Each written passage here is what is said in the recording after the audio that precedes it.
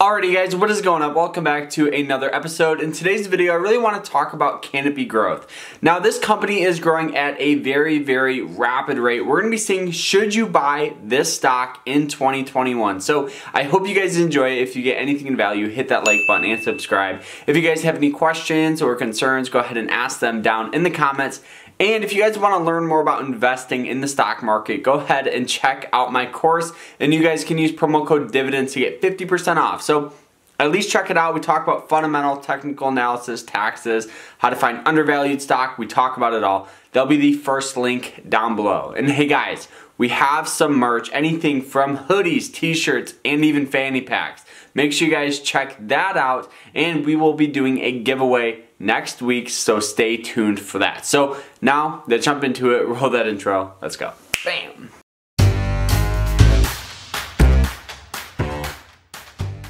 So now for those of you that don't know what Canopy Growth is and you kind of just stumbled across this video, well Canopy Growth is a marijuana stock and a marijuana company that's growing at a very, very fast rate.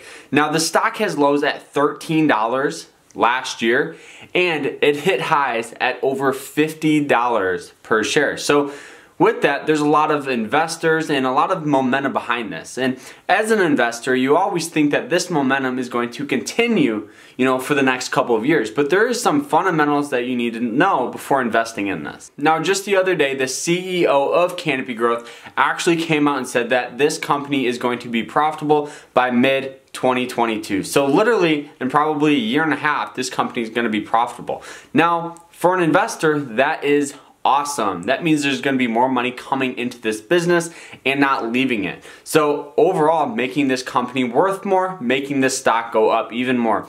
And the craziest part is when the news of this came out, the stock rose around 12%. So there's a lot of investors right now in this company. And now when evaluating a stock or a company or a business, you always have to look at the cash on hand. The cash on hand with any business is very, very important because if that say that business slows down, you wanna make sure that they have enough cash to get through a hard time. So they do have quite a bit of cash. Now, it looks like they do have roughly $1.3 billion and this is an overall decline, which is kind of expected because the company is using some of that money to reinvest it into the business to make it larger, probably to become profitable.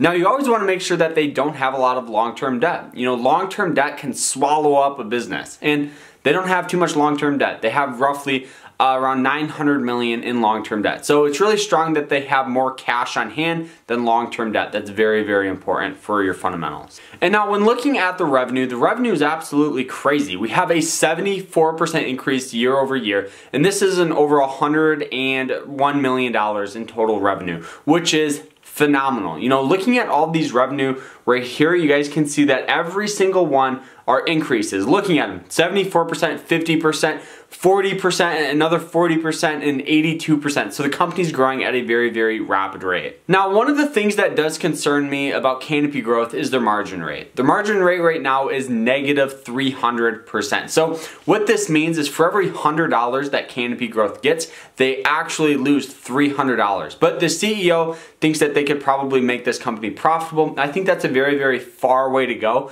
with this very, very high margin. But if he thinks he can do it, you know, I think there's a lot of pressure behind him to do it. So I do think that's a very, very cool thing if they can, but this is gonna be something that's not gonna happen overnight for sure.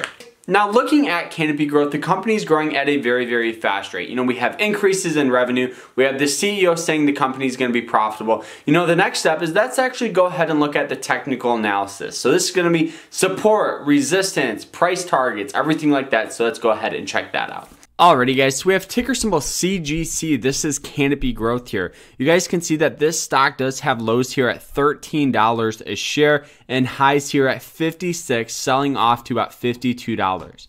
Now looking at basic support, basic resistance, now you guys can see it does have a little bit of some resistance here that probably would act as new support here at 45. Now the highs here are now the new uh, strong resistance for it. So you guys can make good educated trades just by judging this. Now, I really think that Canopy Growth does have a lot of long term potential because I really believe the overall demand for this product is going to continue to increase. Um, over the next couple of years here. Now, I believe a fantastic strategy for a company like this would be dollar cost averaging. You know, the reason why I love dollar cost averaging is because you don't have to try to time the stock. You know, if it goes up, you make money because the stock value goes up. Now the beauty is is when it falls down, just like it did in here and here, you know, in here. All you do is you just average your position down. So it's a phenomenal way to invest. Instead of putting up one lump sum, you pretty much just invest into monthly or weekly increments. So you still get a phenomenal average price and you make money when it goes up.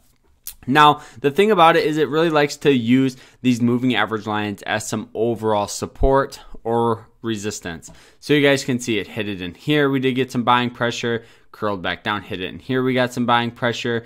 And now there is a, a uh, quite a bit of separation between these moving average lines. So this could um, pretty much come in a couple of factors. We could get a little bit of sell off or consolidation. I do think that probably will have a hard time breaking above 56, but overall, this is still a fantastic stock here to invest, and I would highly recommend it. So that is it, though. I hope you guys enjoyed the episode, and if you did, hit that like button and subscribe. If you guys have any questions or concerns, go ahead and ask them down in the comments, and we'll see you guys tomorrow. Remember to stay happy, stay positive, and stay safe out there. Take care.